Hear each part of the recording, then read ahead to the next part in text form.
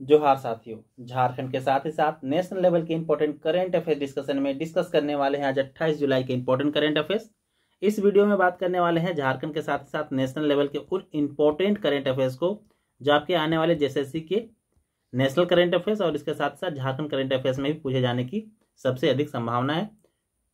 उन्हीं क्वेश्चन को डिस्कस करेंगे जो सबसे ज़्यादा न्यूज़ में होते हैं और क्वेश्चन भी जनरली एग्ज़ाम में वही पूछे जाते हैं जो सबसे ज़्यादा चर्चा में होते हैं, सबसे ज़्यादा न्यूज़ में होते हैं।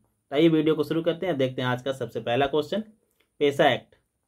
PESA act panchayat extension to schedule area. इसका पहला प्रारूप झारखंड सरकार द्वारा प्रकाशित किया गया है और इसका नाम रखा गया है झारखंड पंचायत उपबंध अनुसूचित क्षेत्रों पर विस्तार नियमावली 2022 ध्यान रखने वाली बात यह है कि आपको बताना है इनमें से कौन सा स्टेटमेंट गलत है। स्टेटमेंट मैं एक बार पढ़ देता हूँ।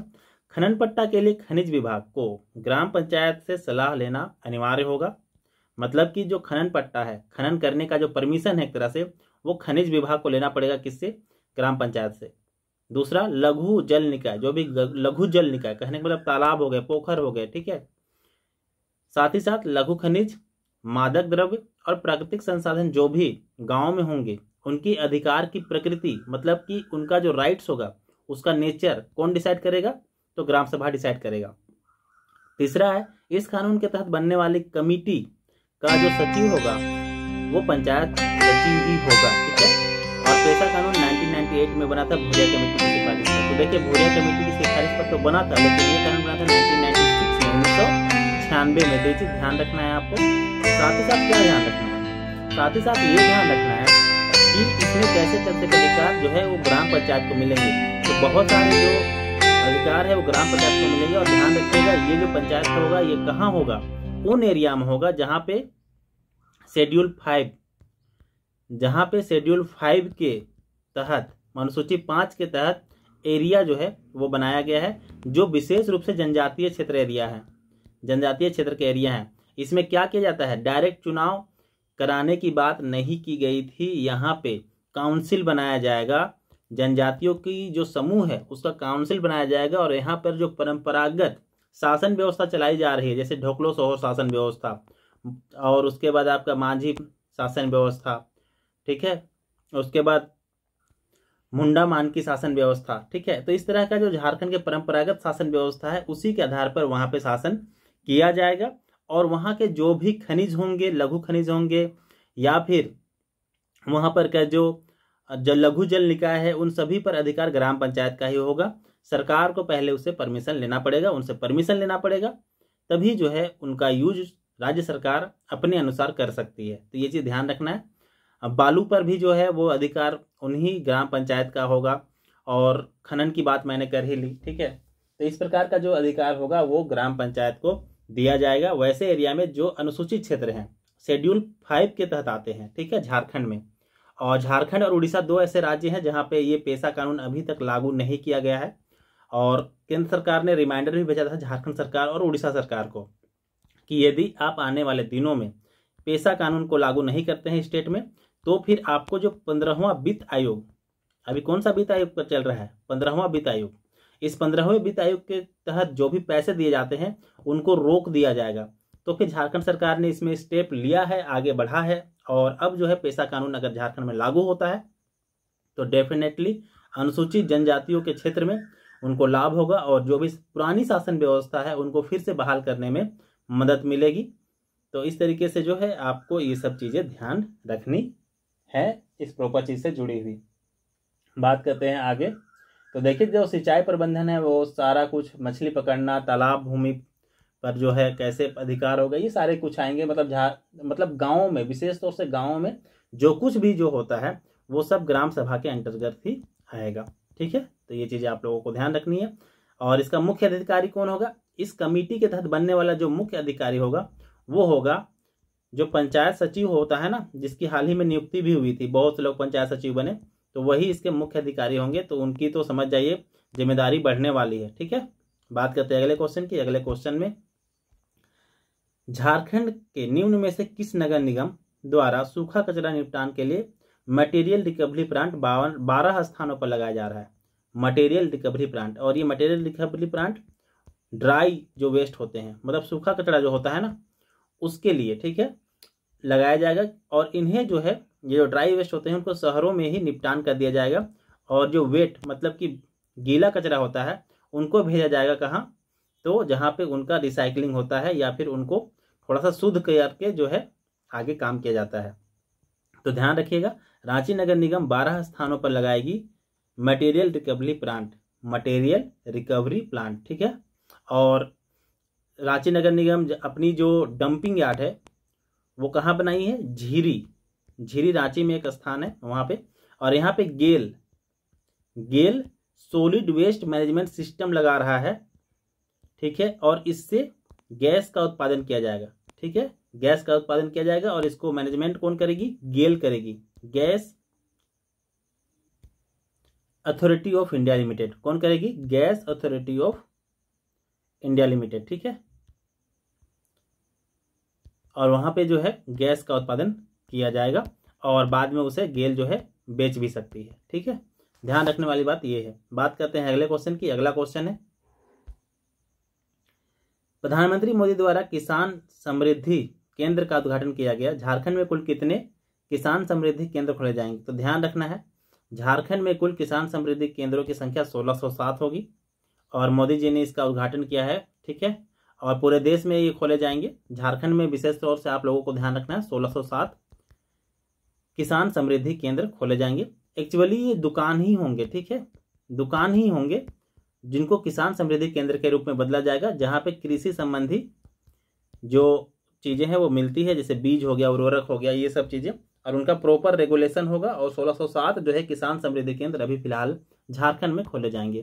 तो इसे प्रॉपर इतनी ही जानकारी आप लोगों को रखनी है।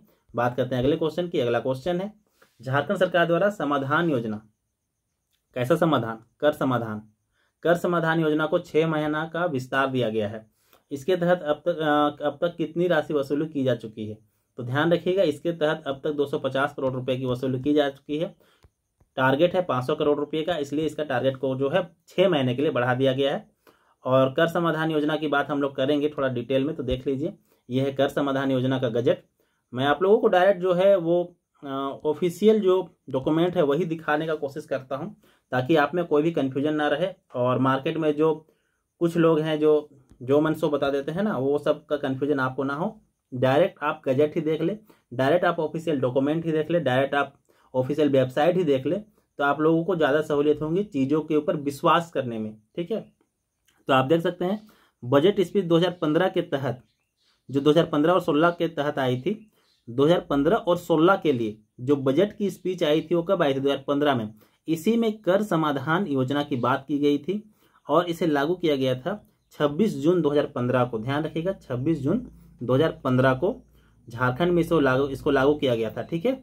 और इसमें क्या होता है तो वन टाइम सेटलमेंट होता है। जैसे कि मान के चलिए आपका कोई बिज़नेस है, उस बिज़नेस में आप टैक्स पे करते हैं और आपका किसी वजह से वो टैक्स जो है ना, वो पे करने में गलत हो गया और आपका टैक्स का बर्डन बढ़ता गया धीरे धीरे आपने पेमेंट नहीं किया तो आपके ऊपर बहुत बड़ा टैक्स का बोझ बढ़ जाएगा। फिर आप जो है कोर्ट में केस करेंगे, ठीक है?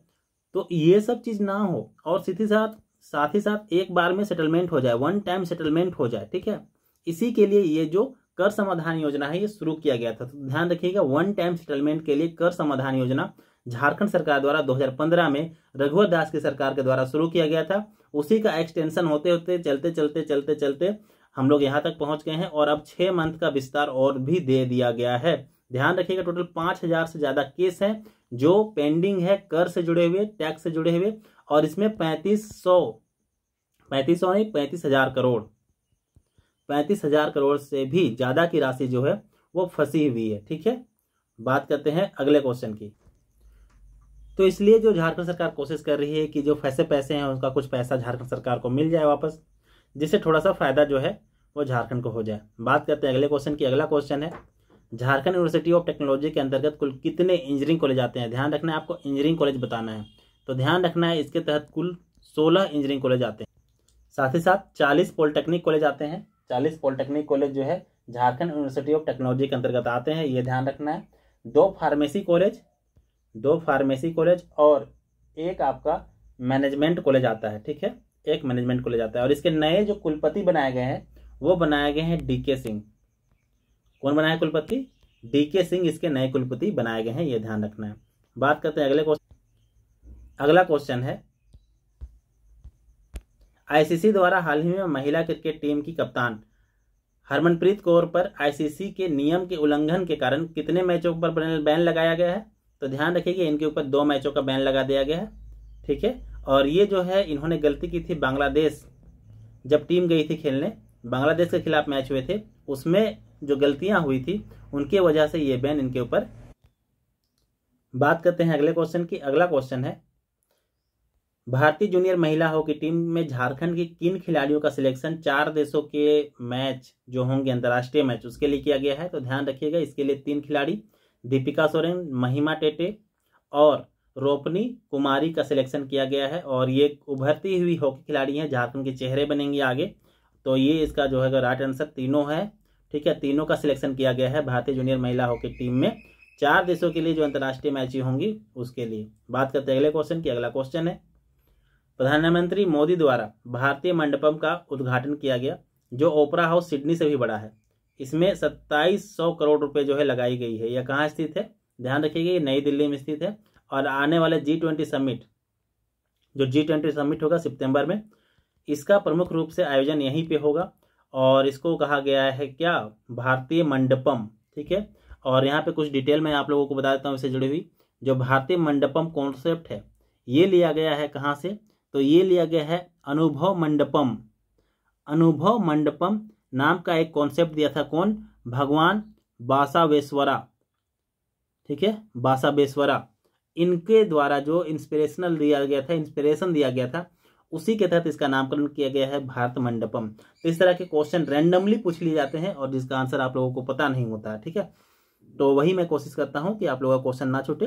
ध्यान रखिए कि इसका नाम है international exhibition cum convention centre international exhibition cum convention centre जिसे भारतीय मंडपम भी कहा जाएगा। क्या कहा जाएगा? भारतीय मंडपम कहा जाएगा। नाम मैंने आप लोगों को बता दिया। और इसका जो प्रिंसिपल है वो है think big think big dream big act big ठीक है? जब आप बड़ा सोचेंगे, तभी आप बड़ा सपना देखेंगे और फिर आप बड़ा काम करेंगे एक्ट बिग ठीक है? तो काफ़ी अच्छी इंस्पिरेशनल लाइन जो है यहाँ पे लिखी गई है।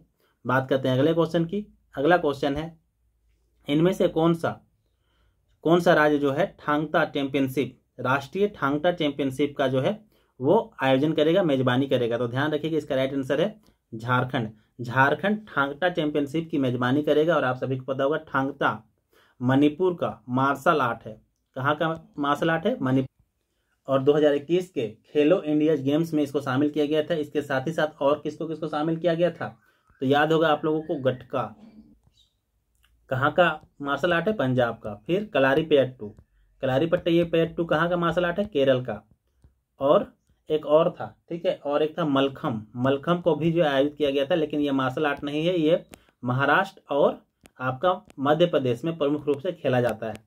तो ये चार प्रमुख रूप से ध्यान रखिएगा, जिसको 2021 में शामिल किया गया था 2022 में। 2022 में जो खेलो इंडिया गेम्स हुए थे, उसमें मुख्य रूप से कयाकिंग। कयाकिंग एक जो है नाव से संबंधित है, ठीक है, कयाकिंग हो गया, और उसके बाद रोइंग हो गया, इनको शामिल किया गया था। और किसको दिया? और आपका कैनोइंग कैनोइंग, ठीक है? कैनोइंग, ठीक है? और एक और खेल था जिसका नाम है केनोय सालालोम केनोय सालालोम केनोय सालालोम, ठीक है? इसको भी शामिल किया गया था। टोटल ऐसे तीन ही ध्यान रखना है आपको, तीन मैं बता देता हूँ फिर से एक बार, ताकि आपको कंफ्यूजन ना हो। 2022 में 2022 में किन तीन प्रमुख गेम्स को शामिल किया गया है खेलो इंडिया में तो ध्यान रखिएगा जिसका आयोजन हो चुका है भोपाल में। ठीक है? जिसका आयोजन भोपाल में हो चुका है फरवरी 2022 में, और इसमें शामिल किया गया था क्याकिंग। क्याकिंग, ठीक है? उसके बाद एक होता है केनोइंग। केनोइंग केनोइंग, ठीक है? एक होता है केनोय सालालोम। केनोय सालालोम। ठीक है? तो ये आपको तीन खेल ध्यान रखना है। ये तीनों खेल को 2022 के जो राष्ट्रीय खेलो इंडिया गेम्स हुए थे ना, उसमें शामिल किया गया था। ठीक है, ये चीज़ ध्यान रखना है। और यहाँ पे थोड़ा सा बात कर लेते हैं, अगर नेशनल गेम की तो सैंतीसवां नेशनल गेम कहाँ होगा? गोवा में होगा। छत्तीसवा कहाँ हुआ था? गुजरात में होगा। ठीक है, और इसमें झारखंड ने कितने पदक जीते तो ध्यान रखिएगा, कुल तेरह पदक जीते। झारखंड ने इसमें जुल, कुल तेरह पदक जीते, ठीक है? और तेरह पदक में से आपको बता दूँ, इसमें तीन गोल्ड थे मात्र। कितने गोल्ड थे? तीन गोल्ड जो है वो झारखंड ने जीते। लॉन बॉल में, लॉन बॉल। अगर लॉन बॉल की बात करें तो इसमें दो गोल्ड जीते, दो सिल्वर जीते और एक ब्रॉन्ज जीते। तिरंदाजी में, तीरंदाजी में झारखंड ने जीते एक गोल्ड, दो सिल्वर और एक ब्रॉन्ज। उसके बाद वूसू रोइंग और एथलेटिक्स में एक एक मेडल। वूसू रोइंग और एथलेटिक्स में एक एक मेडल जो है झारखंड ने जीते थे। ये आपका राष्ट्रीय खेल नेशनल गेम्स में, जो गुजरात में आयोजित हुआ था, छत्तीसवां नेशनल गेम उसमें मैंने झारखंड के बारे में चीनी ताइपे में आयोजित होने वाले अंडर 19 रग्बी सेवन चैंपियनशिप के लिए झारखंड से कितने खिलाड़ियों का सिलेक्शन जो है किया गया है तो ध्यान रखिएगा। इसकी में टोटल चार खिलाड़ियों का सिलेक्शन हुआ था। चार ऑप्शन नहीं है। ठीक है, मैं चार कर दूँगा, ठीक है। और चार खिलाड़ियों का सिलेक्शन हुआ है। मेल में चार खिलाड़ी, ठीक है? मेल में दो खिलाड़ी और फीमेल में दो खिलाड़ी। फीमेल में दो खिलाड़ी। मेल में दो खिलाड़ी कौन कौन है? एक है डेविड मुंडा और दूसरे हैं अजीत नाग। एक है डेविड मुंडा, दूसरा है अजीत नाग। ये दो खिलाड़ी। फीमेल में दो खिलाड़ी कौन? फीमेल में एक है नेहा बागे। नेहा बागे और दूसरे हैं आपका डोमेनिका ओडोए। ठीक है, डोमोनिका ओडोए। ठीक है तो ये दो मेल और दो फीमेल इनका सिलेक्शन हुआ है किसके लिए? अंडर 19 रग्बी चैंपियनशिप जो आयोजित किया जाएगा, कहाँ? चीनी ताइपे में। ठीक है? तो ये चीज़ आप लोगों को ध्यान रखना है। बात करते हैं अगले क्वेश्चन की। अगला क्वेश्चन है। तो इस तरह से हम लोगों का क्वेश्चन तो खत्म हो गया। अब अगला क्वेश्चन कहाँ से आएगा? तो चलिए, मिलते हैं अगले दिन के करेंट अफेयर सेशन में। और जुड़े रहिए चैनल के साथ। डेफिनेटली आप लोगों को फ़ायदा होगा करंट अफेयर्स में अपने जो कॉन्सेप्ट हैं, उनको बिल्डअप करने में।